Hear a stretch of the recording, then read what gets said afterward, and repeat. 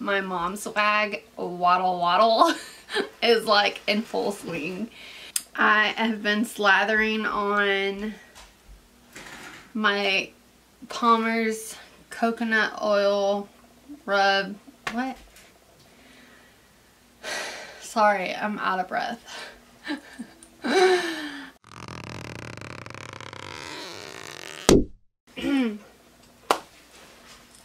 hey everybody, welcome back to my channel. I skipped my 29 weeks update and I was gonna do it. I had all the intentions of doing it, but I don't know. I just got a little overwhelmed and we were on vacation. So I just kind of made a list every night that I was going to do it. We just had so much going on from being on vacation, from going and seeing shows, and just being out and doing all day. I was just exhausted every day and I just couldn't get it in me to sit down and record. Didn't, excuse me, I am all kinds of sinus allergies messed up over here. So just a quick recap of like 29 weeks. Um, like I said, I was on vacation. We were in Branson. We just had a lot going on because there's so much to do over there. I was noticing it was really getting harder walking around because I am so super uncomfortable. This baby is moving so much more now, just all of a sudden out of the blue. He is like kicking and rolling and flipping and like all over the place all the time. Any movement he makes like I feel all of it but I am most uncomfortable when he is moving and I am walking. And when I say I'm walking I'm meaning like my mom swag like when I'm like going down the street or like whatever. And he's like flipping around. It gets all like tight. You know how I've complained that he sits so low? Well I guess it's just a lot of pressure. It, I, I really can't explain it too well because I know this doesn't sound it makes sense in my head. I don't know if it's really making sense to you guys but um when I'm moving around and he's moving around and it's just all tight and oh it's very uncomfortable. Sorry I'm out of breath. I've been, I've been slathering on my Palmer's stretch marks lotions and then different oils combating stretch marks because I've noticed two appear and they're like right on my belly button and I started to freak out about it and then I was like it's okay. It's okay. This is my third kid. Um, so I've been because I've been so it the belly's been so itchy from growing that I've just extra like extra all day. I have some with me everywhere. I go literally. And anytime I'm itching I'm rubbing on oils or lotion house. That looks good baby. Good job. I'm not doing it. Well that's it. That's all I got for 29 weeks. My 30 weeks I have like a list. I don't know if you can see that but anyways I have a list going on over here because I really sat down to think about it besides being out of breath. We are now officially on our final 10 week countdown and that makes me so excited and anxious and nervous and emotional about it. I'm trying not to think about it too hard because my last child came at 35 weeks and no joke, we were actually in Branson the week before I delivered. Literally the day that we got back, a week later, he was there. So I was a little nervous being in Branson as far along as I am and all the walking, but I was trying to do a lot less than what I usually do and really try to slow down, which is really quite difficult for me and uh, walk slower and really try not hard not to pick up my five-year-old and hold my two-year-old the least amount of time that I can. I just pass him over to dad and really trying to chill out and that is very difficult for me.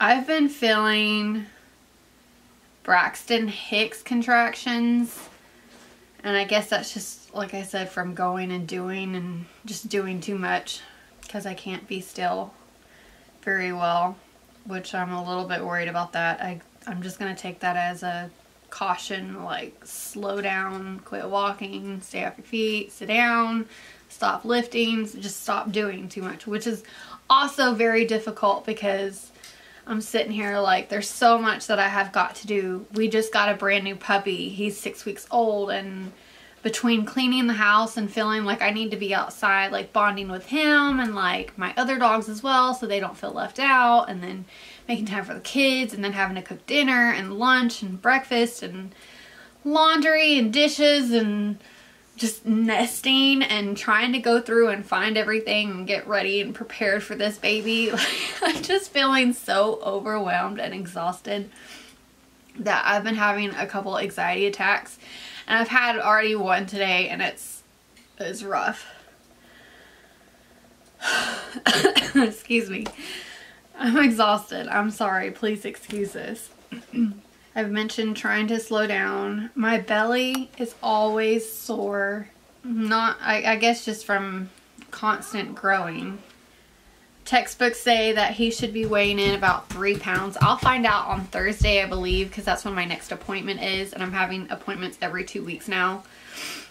But I'm also, um, um, it's on my list of things to do today to go not only register at the hospital but make my appointment for um, make my appointment for a 3D 4D scan. I want to do that in the next four weeks at least. I think 34 weeks is really pushing it for me. So right now is like the perfect time I feel for myself to get one last good like little ultrasound to see him and to get pictures of him. I'm also been calling around to different um, photographers to get ready to do my maternity pictures, which I'm also very excited about, but kind of disappointed because, and I don't want to be traveling a lot now that I'm like 30 weeks pregnant. You know, it's just, my numbers are just going to keep going up. I'm even wondering about the holidays. Like, I don't want to do a whole bunch of traveling for Thanksgiving or Chris. Well, obviously, I'm not going anywhere in December. No, I'm staying put. But I think if I do go somewhere in um, November, since November is like right here, knocking at our door, um, I guess I'll just be bringing my hospital bag and hoping there's a hospital nearby somewhere on the interstate, off of the interstate. um, haven't really decided if I really want to actually travel or not, just considering my history of uh, laboring quickly and going early. Like I said, textbooks say that he should be weighing in about three pounds and that he should be gaining a pound, uh, was it half a pound a week or a pound and a half a week? I think it was half a pound a week. I'll double check that and I'll add that if I mm, screwed up or anything. We're getting closer to finding a name. We haven't decided on one just yet, but time's running out and I plan on having a name within the next couple weeks for sure set but I will not be sharing until I'll be revealing that um, with my birth announcement. I think I got everything on my list that I wanted to address for 30 weeks. My appointment is on Thursday. So I've got a few more days before that. I'm registering today.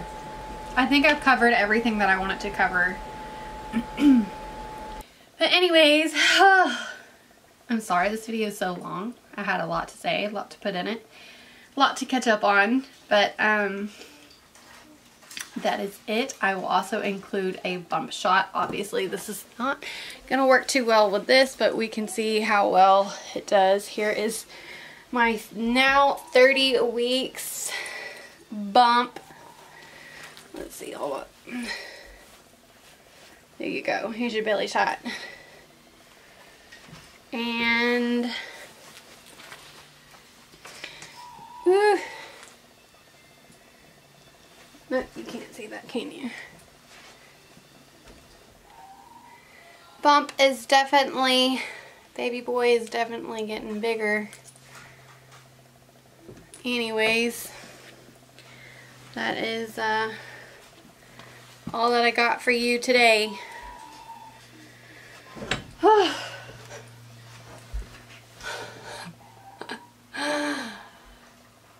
Thank you guys so much for watching. Um, don't forget to like and subscribe for more videos and comment down below any ideas or whatever else you want to see. But I will see you guys next time.